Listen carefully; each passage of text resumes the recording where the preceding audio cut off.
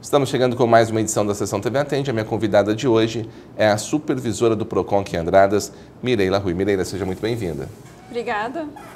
Mireila, estamos aproximando aí, esse mês de novembro é marcado por inúmeras promoções. No dia 29 acontece uma promoção tradicional aí, mas muitas empresas já estão antecipando essas promoções.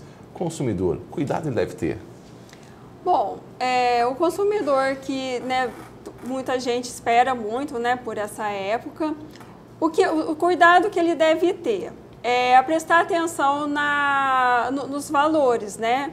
Às vezes a pessoa já lá desde o começo do ano espera essa data e já vai de, de, de pensado né, o que, que vai comprar. Então verificar o preço de agora para ver qual é o preço que eles vão estar colocando nessas promoções, né? Para ver se, se não é uma, um preço assim só de imagem, né? Às vezes sobe o preço agora e depois dá um desconto, sendo que, que, que já era aquele valor que, que já estava um mês antes, né?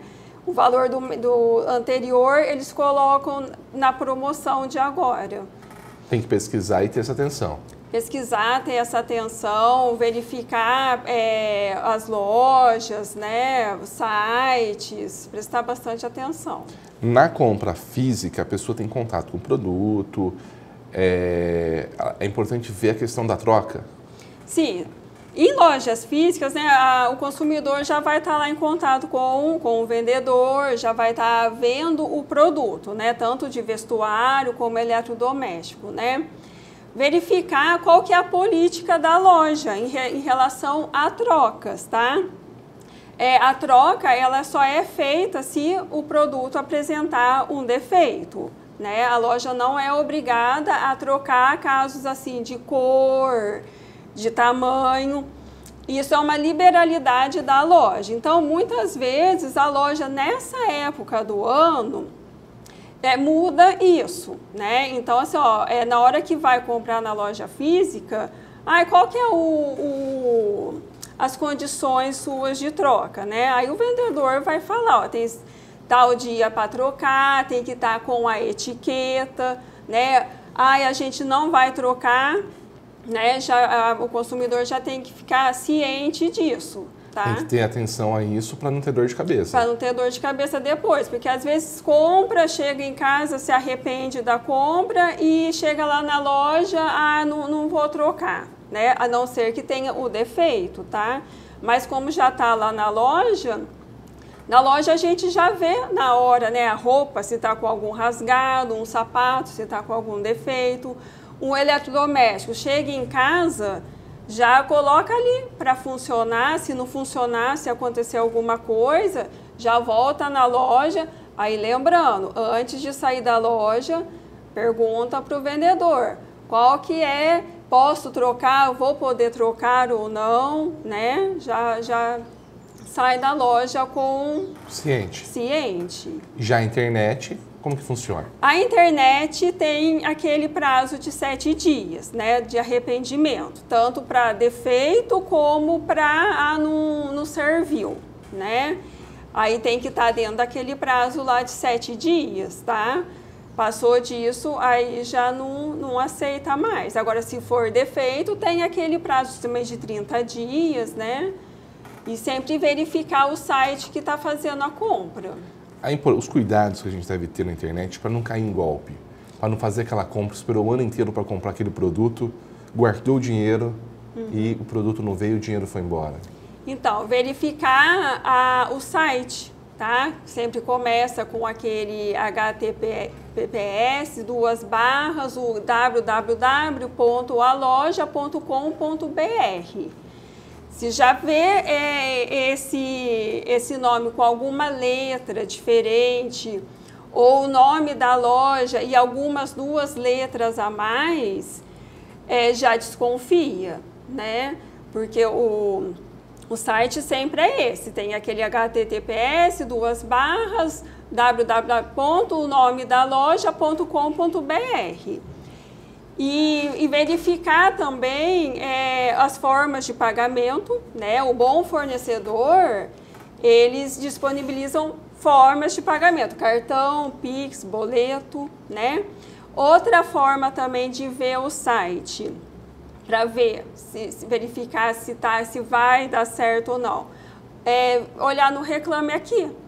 Se lá tiver muitas reclamações, né?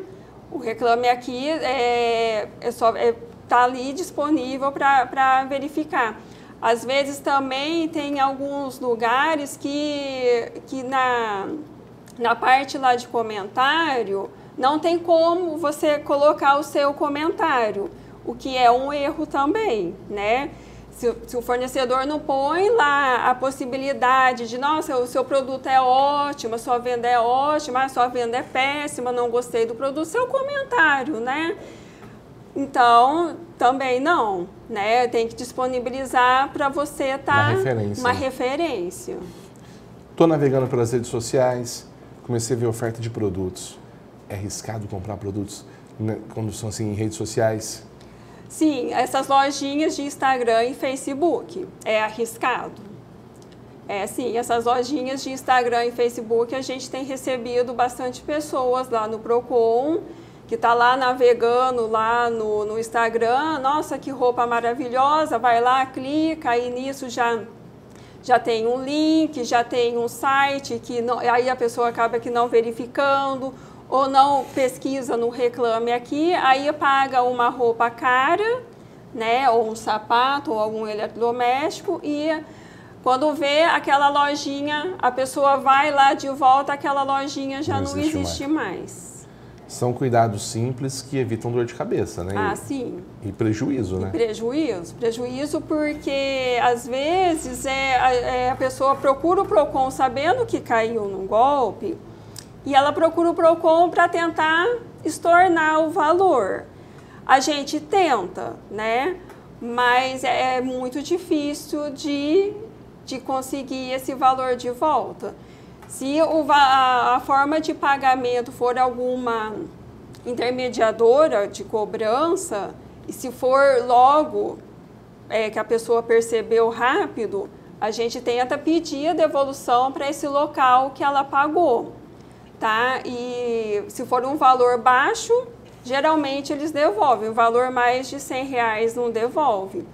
E a prestar atenção também é se, a, se, se o fornecedor é, fala que a forma de pagamento é somente por Pix, tá? Somente por Pix. E CPF ainda, aí se for CPF, você não, não encontra jamais o, o valor de volta. São dicas valiosas. Né? São, né? prestar muita atenção, é, umas ofertas aí tentadoras também, né? Verificar o preço, tá? Às vezes é um produto aí que custa 320 reais e a pessoa lá, a lojinha, vai vender por 100 reais. Então. É uma diferença. É uma diferença muito grande. Se você vai é, pesquisar no site em algumas lojas, né? Você vai ver que o produto está mais de 300 reais e o vendedor quer te vender por 100, então é, é para prestar atenção, é para desconfiar. E controlar o impulso. Controlar o impulso.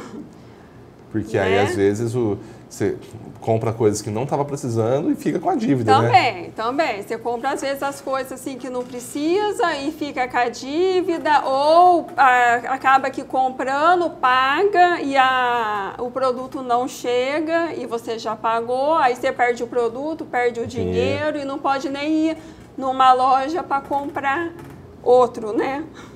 Tá, Joia.